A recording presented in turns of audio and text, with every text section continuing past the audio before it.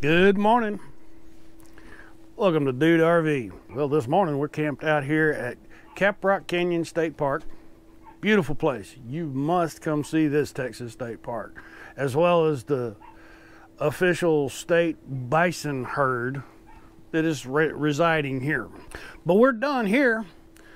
You'll have to check out the other videos that I posted about Caprock Canyon State Park. For today's journey, we're continuing east over towards Wichita Falls and a little state park called Lake Arrowhead State Park. So come along with us as we go visit Lake Arrowhead State Park and see what there is to see. Hey, let's go see some stuff.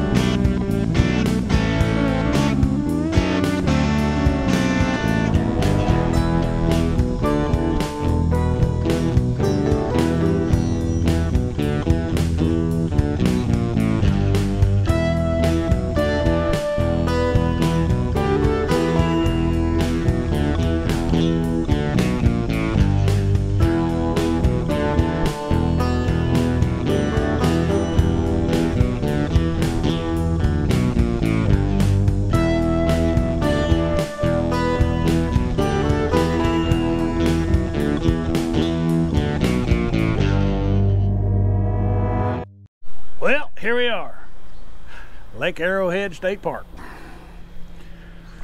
It took us about four hours of driving. Now all the sites at Lake Arrowhead State Park are all the RV sites.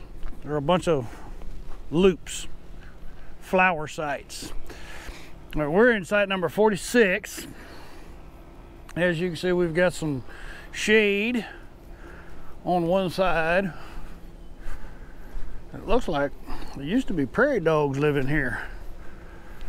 Very flat site. Asphalt pad, water. 30, 50, 20. No sewer, but that's all right. They have a dump station. The lake is just right out there, so it's not too far to walk. They have a fire pit barbecue combo, patio cover over an aluminum table, no lantern hook. Another prairie dog hole there. You got to watch your step. And then there's a, another prairie dog, two prairie dog holes here, but these are these are vacant. We can tell by all the cobwebs. So maybe the prairie dogs were relocated.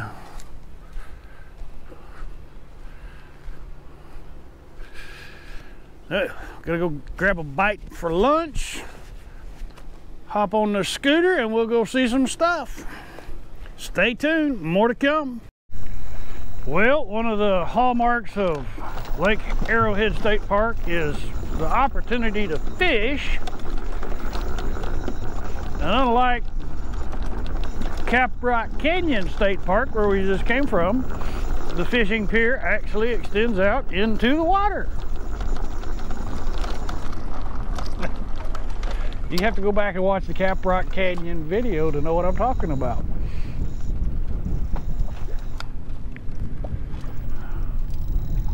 All right. We got a marina over there as well. We'll cruise over that way and check it out.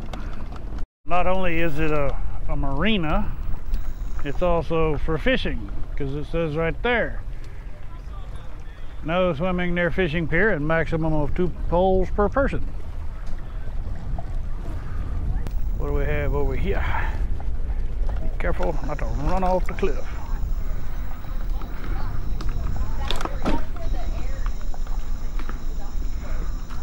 Hi. Great. How are y'all doing?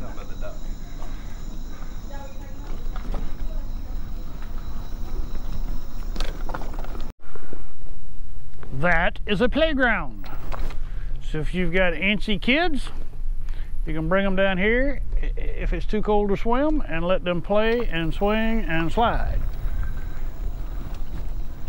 And while they're playing, Dad can be sitting right over here catching fish. Well, as hot as it is right now, I'm almost inclined to go swim at my own risk here at the day use area, Lake Arrowhead State Park. Hard to believe it's October and it's as hot as it is. Almost makes me wish I was back up on Cheyenne Mountain State Park where it was cool. Let's go see some more stuff. All right, I've come around to the other side of the cove past the boat ramp, which is over there. You can see this a two ramper boat ramp. Another playground area. Lots of picnic tables. Pardon? No, I have a YouTube channel and I'm producing videos. DudeRV.com. Okay.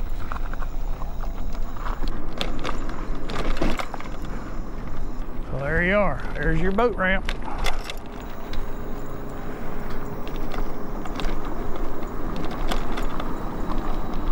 Now I noticed earlier when I was scooting around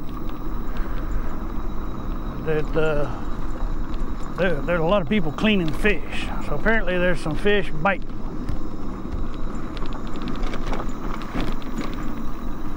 All right, we're going to scoot on around to the other day use area.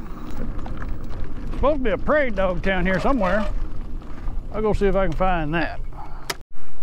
Well, this is supposedly the side of the prairie dog town, but it looks to be abandoned. I don't see any prairie dogs. I don't see any indication that their dens are active. Kind of like the ones over in camp. See the way it's grown over? Wonder if something has, some predator has cleaned them out.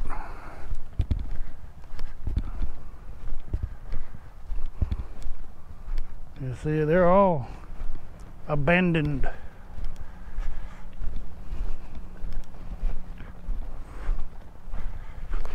Nobody home. They left town.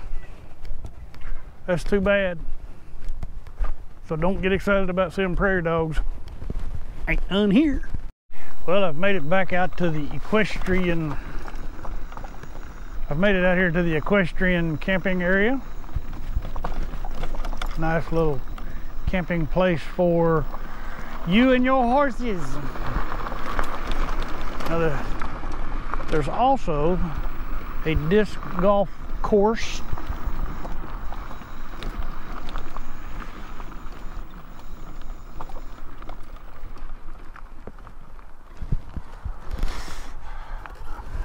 and there are goat heads everywhere.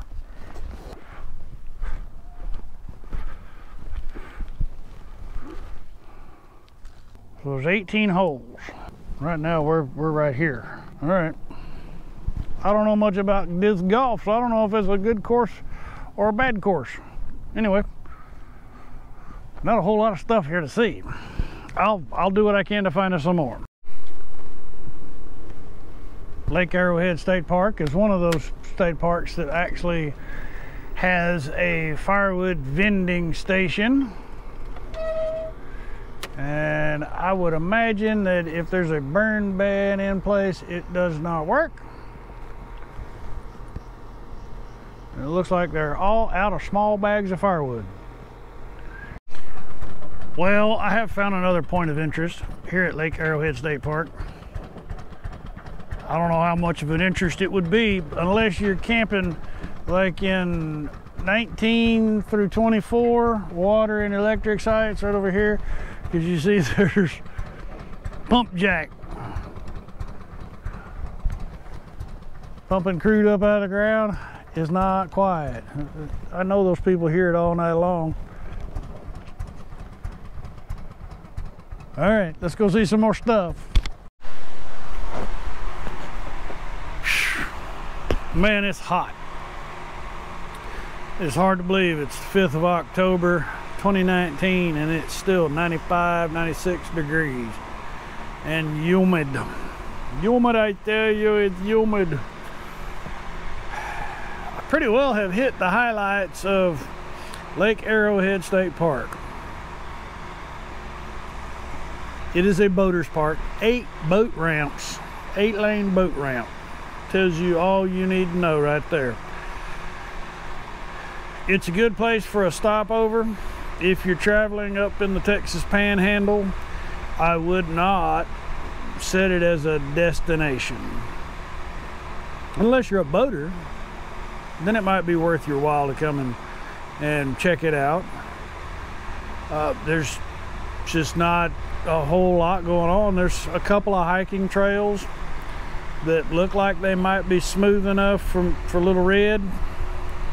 But frankly, I'm just, I'm whooped from all the driving that we've done over the last 12 days.